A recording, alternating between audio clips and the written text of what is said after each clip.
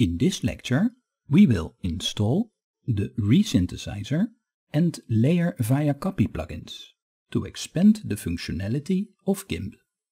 With Resynthesizer, known in Photoshop as Content-Aware Filling, you can now let GIMP remove objects for you. And Layer via Copy is a great time saver. With this plugin, you'll need several steps less to place selected content on a new layer. And it makes the process identical to how it works in Photoshop. We will now place some files that make GIMP look and act as Photoshop, shortcuts included. And if you want to further customize GIMP to your personal preferences, in section 8 I will show you how you can customize GIMP's user interface. The files that we will add come with this lecture. The zip file is called udemy.zip. You can unzip the file or just double click on it to get to the content.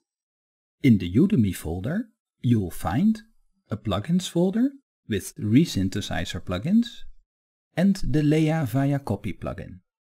You'll also find a tool options folder that make the tools in GIMP behave like they do in Photoshop and six additional files that will make GIMP act as Photoshop. We will place these files in a specific GIMP folder where GIMP can see these files. Because this specific GIMP folder is in a hidden folder on your computer, we will use a shortcut to reach the folder. GIMP has to be closed before you place these files. So when GIMP is opened, now close GIMP. Open the File Explorer. At the top there are two windows. In the left window you see this PC and in the right window we see search this PC. We will use the left window. Click in the left window.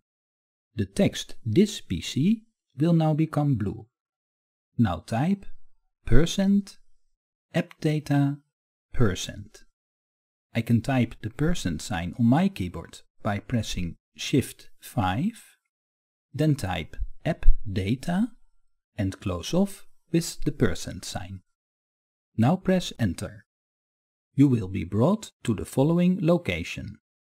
This PC, your C drive, users, then comes the name of your home directory folder, which is in my case Bernard PC, then app data, and then roaming. The app data folder is the folder that is hidden in your home directory. In the roaming folder, we see the GIMP folder. Double-click on the GIMP folder. Now we see a folder called 2.10 which is the folder we are looking for. In GIMP 2.8 there was also such a folder, but it was placed directly in your home directory, so the folder has moved to a new location. The GIMP 2.10 folder is the folder in which we will place the files. Before we do this, we will make a copy of this folder, so we have a backup. Right-click on the 2.10 folder and choose Copy. Then right-click below the 2.10 folder and choose Paste. A 2.10 copy folder is added, which is the backup. Now we will change the content of the 2.10 folder. Double-click on the 2.10 folder to open it. Also open the Udemy folder.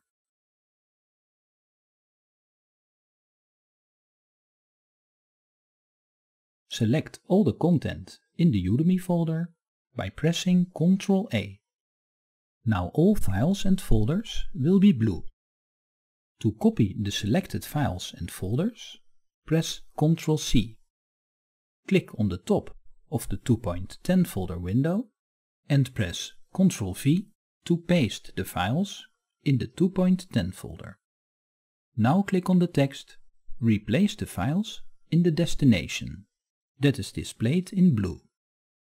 In the 2.10 folder, you now see the 8 files and folders highlighted in blue that you have copied over from the Udemy folder. If you had additional plugins installed in the past, you can copy them over from the 2.10 copy folder to the 2.10 folder. We are now finished adjusting GIMP. In the next lecture, we will explore GIMP's user interface.